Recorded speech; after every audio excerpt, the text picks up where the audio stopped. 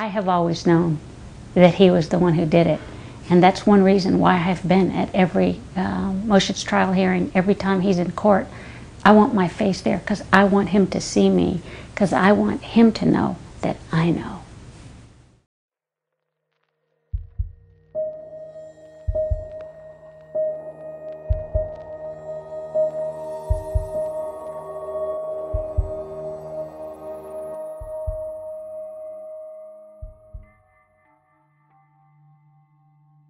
Twenty year old Morgan Dana Harrington was born in Charlottesville, Virginia. Bright and intelligent, loving art and music, she had dreams of becoming a teacher. She completed high school early, at the top of her class, and was given early admission into Virginia Tech to major in education. Morgan was described as a home bird, and although she was now at university, she made sure to see her family once a week and talk to her parents every day on the phone. On October 17, 2009, 20 year old Morgan and three of her friends drove to the John Paul Jones Arena at the University of Virginia to watch one of her favourite bands in concert, Metallica. Morgan couldn't wait for the concert, having had the tickets pinned to her refrigerator for the last six months. One of her friends drove the group there in Morgan's car, and during the warm up act, Morgan told her friends she was going to the bathroom. Twenty minutes later, and with Metallica about to start, her friends called her at 8:48 p.m. to see where she was. Morgan said she had been locked out of the arena due to its no re-entry policy. It remains unknown how or why Morgan ended up outside of the arena, but she told her friends that she would find her own way home and they didn't need to worry. Morgan had no cash on her, having left it all with her friends, and her car keys were also with the group inside. Just after 9pm, she was spotted in the University Hall West parking lot, and then again in the Lannigan track parking lot. Several of the witnesses saw her at around 9:30 p.m. walking on Copeley Street Bridge with her thumb sticking out, seemingly trying to seek a lift. People that saw her noted she seemed disorientated and freezing cold, with an abrasion on her chin. After this, there were no other reported sightings of her. The following day, Morgan was supposed to be having her weekly visit with her parents, Dan and Jill. Dan was going to be helping her revise for an upcoming maths exam, but Morgan didn't show up and wasn't responding to messages or calls. Dan and Jill contacted the friends that Morgan had been with the night before. To their horror and anguish, they discovered they had been separated, and none of them knew where she was. Earlier that morning at around 7am, a big discovery had been made by a lacrosse player. Morgan's purse was found. It contained her student ID, driver's license, debit card, and hip flask. The area the purse was found in was typically used by taxi drivers waiting to pick up fares during large events. Soon after this, her cell phone, with the battery removed, was also discovered a short walk away. Morgan's friends from the concert started receiving some backlash for what had happened that night, but Morgan's parents spoke out. Dan said, They are not to blame. Everyone wants to make them out to be the bad guy, but they are not the bad guy. I wish they had, but I don't know that it would have changed anything. She's not a seven year old. They wouldn't have put out an Amber Alert. Morgan's mother Jill added, This is not about let's find who's to blame. Let's find her. Searches were conducted by over 1,600 people, and the community was desperate to help find Morgan. Three weeks after Morgan was last seen on the bridge, a student was returning from class when he found a bloodied t shirt. It had been discarded in some bushes at the front of his apartment. The apartment was a short walk away from the arena, and the student, knowing that Morgan was missing, reported this finding to the police. Jill and Dan Harrington are sleepless as they search for their daughter, Morgan. Uh, before she left here, she said, Dad, you're going to be home tomorrow afternoon because I, when I get back, I, I need some help uh, preparing for a math exam? I have had many goodbyes. I don't take goodbyes lightly. I always walk her to the car, and she gets in the car, and as she's pulling out, she's always flashing those fingers at me, two, four, one. In fact, that was the last thing she said to it me. was the last thing she said to me when she left, because that's just our little, you know, your little code. I love you too much forever and once more than forever. The fears of everyone were realised on January 26, 2010.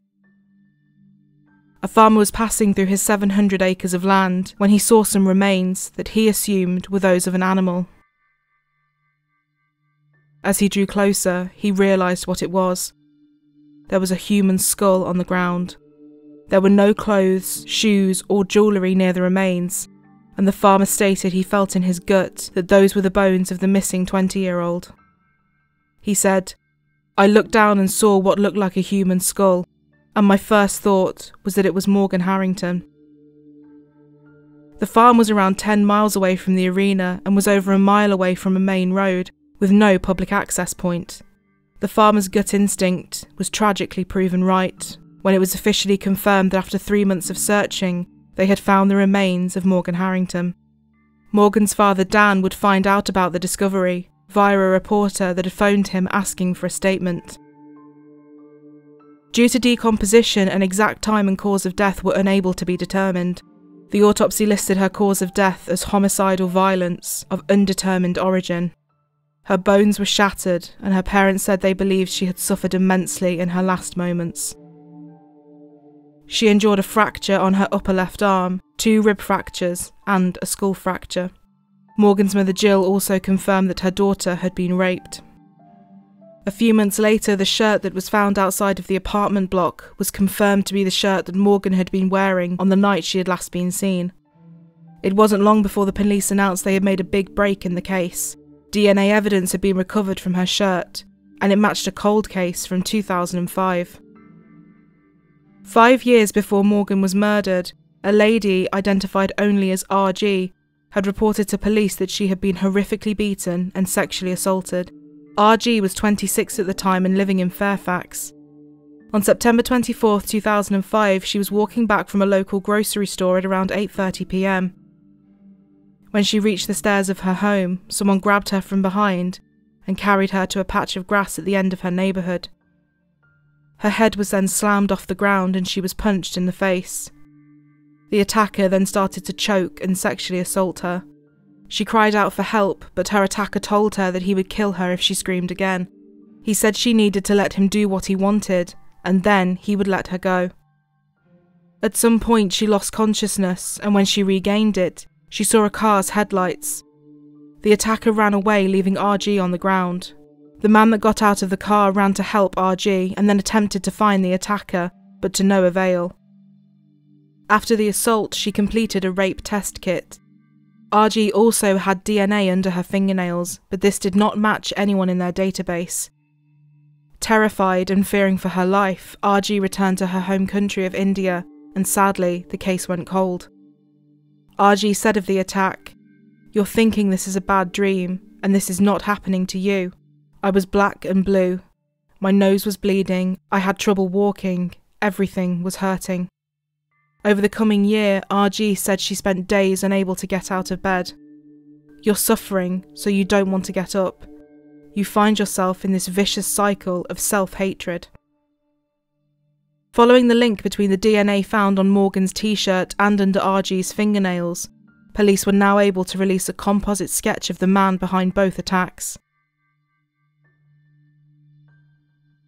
James Hetfield of the band Metallica released a video appealing for any more information. Hi, I'm James of Metallica. Back in 2010, our band offered $50,000 to help catch the person responsible for murdering Morgan Harrington.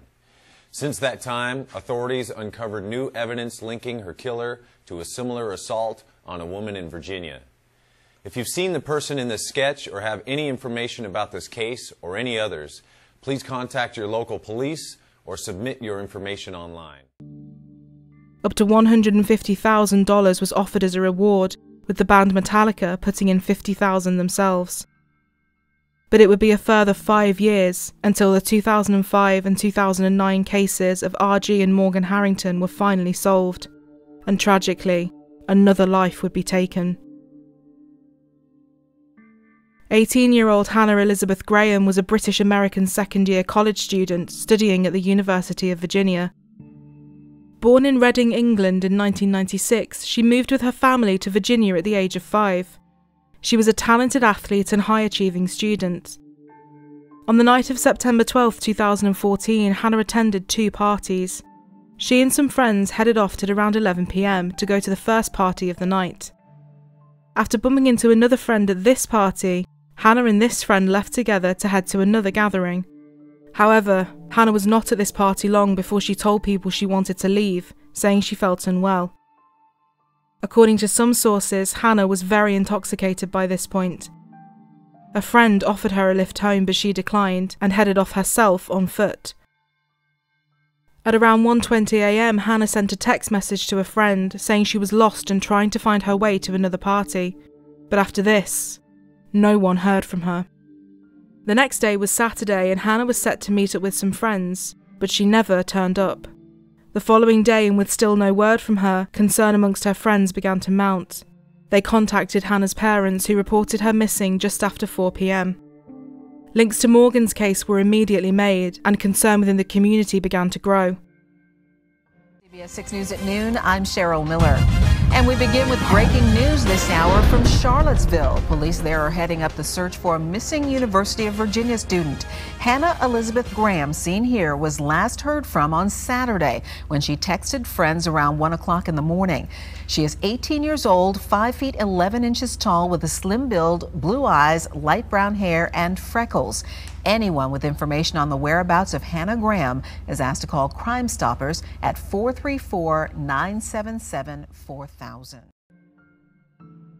Fortunately for the police, there was a lot of CCTV, and they quickly managed to piece together Hannah's last steps during the early morning hours. At 12:45 a.m., she was seen walking alone past a pub called McGrady's.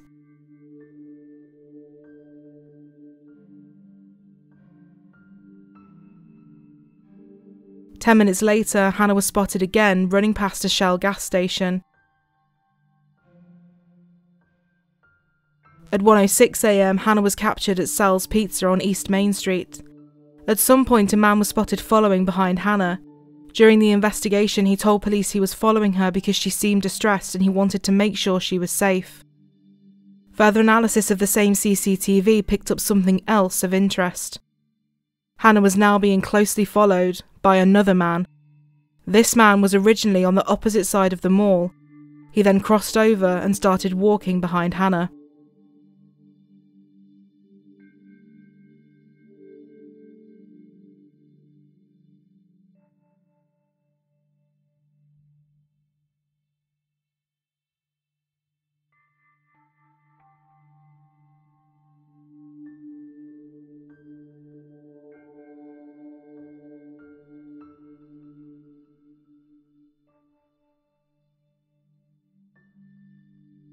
A witness said this man, who in their words did not look friendly, put his arm around Hannah. He then took her to the bar Tempo and bought her a drink. Later, the same man was seen standing by an orange car with Hannah, and she could be overheard saying, I am not getting into that car with you. And then at 1:20 a.m., she sent the text to a friend saying she was lost. The man spotted in the surveillance footage was officially declared a person of interest on September 20th. Morgan Harrington's mother, Jill, knew the pain the Graham family were going through all too well and offered her support. For Hannah, bringing back painful memories for Morgan Harrington's family. The 20 year old college student was abducted and murdered in Charlottesville in October 2009. Joining us now, Morgan's mother, Jill Harrington, founder of Help Save the Next Girl. Jill, good morning. Good morning. You know, you lived this nightmare yourself and you've been living it for so long. You had to be heartbroken to hear that here we go again, it looks like. Yeah, there, there's so many uh, young women from our part of the country, our part of Virginia, um, missing and or murdered uh, just since Morgan was killed. And it, it is gut wrenching to think that another family is going through that anguish. We, we just are sick about it. it, it it's uh, unfathomable. Uh, Dan and I keep keep looking at each other and thinking, how did we get through it? And then we realize we're not through it. You never get through it. It never goes away. And I hate to think that Hannah's family has that um, path ahead of them for the rest of their lives. We really are hoping the community can band together, give more information, and we can have a good resolution for the Graham family. We're praying for that. The man in the CCTV turned out to be a 32 year old nursing assistant and occasional taxi driver, Jesse Matthew Jr. The same night Hannah went missing, Jesse had been seen lurking in different bars, approaching various women and behaving inappropriately. police conducted a search of Jesse's home and took several items to be examined. On September 21st, Jesse visited a Charlottesville police station and spoke briefly with officers before asking for a lawyer. When he was released, he drove away from the police station at such a high speed that it prompted officers to charge him with reckless driving and obtain a warrant for his arrest. Hundreds of volunteers were helping Hannah's family and the police search for her. Charlottesville Police Chief Timothy Longo said he believed that Hannah was either in Charlottesville or in one of the nine surrounding counties. He asked property owners to search for her on their land. On September 22nd, Jesse Matthews' apartment was searched again. Several items and some clothing were taken away for examination. A day later, police had gathered enough evidence to charge Jesse Matthew Jr. with abduction with intent to defile, a charge in Virginia that means kidnapping with the motive of sexual assault. But by this point, Jesse had withdrawn all the money from his bank account and fled. He was found a few days later camping out on a Texas beach 1,300 miles away and was arrested that afternoon. Are you Jesse Matthew Jr.? Yeah. Mr. Matthew, my name is Judge Henry. You have two charges this morning. You have got a fugitive from justice warrant out of Virginia for abduction of a person with intent to defile. You have got a Galveston County charge of false information to a peace officer. Your bond is denied on the fugitive from justice warrant. Okay, you're not entitled to a court appointed attorney on the fugitive from justice warrant except to fight extradition. And sir, I got a question for you. Um, Okay? like they took all my clothes and they got me sleeping on a hard thing. I don't, I don't feel like I'm a should be able. I should be able to have some kind of clothes. Uh, you appear to me to be dressed in a jumpsuit. Well, once they once I get back, they're going to take my jumpsuit off and tell me I have to take my jumpsuit off and Medical medical has to clear you out of medical. That's a requirement of medical. So once medical sees you and clears you and they move you to another cell, then they'll give you the jumpsuit back. Is this for Virginia? Yes. So what is the Virginia one again? The Virginia warrant is a fugitive from justice warrant. The underlying charge is abduction of a person with intent to defile. Sign right there. Now I was going to have you sign two times saying that you're not requesting a court appointed attorney this morning. What? I'm sorry. If I sign it, We're, I'm going to ask you to sign either way, either requesting a court appointed attorney or declining consideration for a court appointed oh, attorney. Oh, okay. If you request one, the only thing that attorney can do for you is challenge the validity of the warrant and fight your extradition back to Virginia. On September 29th, a forensic link was made. Evidence taken from the investigation into Morgan Harrington had been linked to Jesse Matthew. The results from the items taken from Jesse's apartment also revealed Hannah's DNA on a pair of his shorts. Her DNA was also found in his car. Jesse's DNA matched the cold case of RG from back in 2005. Police had finally found the man responsible for almost a decade's worth of horrific crimes. As a student, Jesse had been twice accused of sexual assault at two separate colleges he attended. Each occurred within an 11 month period. He left each school immediately after each allegation, and although police did investigate these reports, no criminal case was ever brought against him. I'm Chief Longo the Charlottesville Police Department. It was uh, some 35 days ago, some five weeks, since 18 year old University of Virginia student Hannah Graham disappeared from our downtown pedestrian mall. Thousands of hours have been spent by literally hundreds of law enforcement and civilian volunteers in an effort to find Hannah.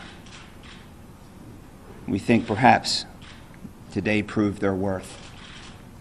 Sometime before noon today, a search team from the Chesterfield County Sheriff's Department was searching an abandoned property along Old Lynchburg Road in southern Albemarle County when they discovered what appears to be human remains. Tragically, six days after this conference, these remains were positively identified as Hannah Graham. It was confirmed that Hannah had died of homicide by an undetermined etiology. Hannah's remains were found just five miles from where Morgan Harrington had been discovered. Two days after Hannah's remains were found, Jesse was indicted on charges of attempted murder, object sexual penetration, and abduction with intent to defile in the Fairfax case of RG from 2005. He pled not guilty. Shortly before the trial in RG's case began, Jesse was also indicted on a first degree murder charge in Hannah Graham's case. The charge was then increased to a capital murder charge, meaning the death penalty was potentially now on the table. On June 10, 2015, Jesse entered the Alford plea in regards to the 2005 case of RG and was subsequently convicted of all charges. An Alford plea means that the defendant still denies any guilt but they acknowledge that the evidence presented may be strong enough to convict them. Three months later, Jesse was also formally charged with first degree murder and abduction with intent to defile in the case of Morgan Harrington. Police believe that the night Morgan was abducted, Jesse may have lured her into his taxi as she was looking for a lift home. During one of the pre trial hearings, Morgan's mother, Jill Harrington, walked over to Jesse's mother and held her hand. She said, It was the right thing to do. I hold no animosity towards his family. They did nothing wrong. In October 2015, at the end of the trial in RG's case, Jesse was sentenced to three life terms. This afternoon, prosecutors say that Jesse Matthew Jr. will plead guilty to the murders of Graham and Harrington to avoid the death penalty. Prosecutors said they plan to seek the death penalty if Matthew was convicted in the Graham's case. The trials of Jesse in the cases of Morgan and Hannah would never take place. In March 2016, Jesse struck a plea deal. He pled guilty to two counts of first degree murder and two counts of abduction with the intent to defile in both cases. This meant he avoided the death penalty but received four life sentences without the chance of parole. Both families said they supported the deal and were grateful they wouldn't have to endure a painful trial. Jesse Matthew Jr. received seven life sentences in total. It is thought that there are many other victims linked to Jesse Matthew Jr., and that his crime spree was never fully determined and will likely never be known. In May 2019, it was reported that Jesse had been diagnosed with stage 4 colon cancer. He transferred prisons to begin treatment, and both the Harrington and Graham families were notified of the transfer. Help Save the Next Girl is a national non profit organisation set up by Jill and Dan Harrington. It is committed to being a presence on campuses, in clubs, and in violence prevention forums across the country. It develops relationships with the media and law enforcement to help spread awareness and information about cases. They also provide outreach support to victims' families. John Graham, Hannah's father, said, Hannah's enduring gift to all of us is that she enabled this wicked man to be apprehended and convicted. She did change the world, but at a terrible price.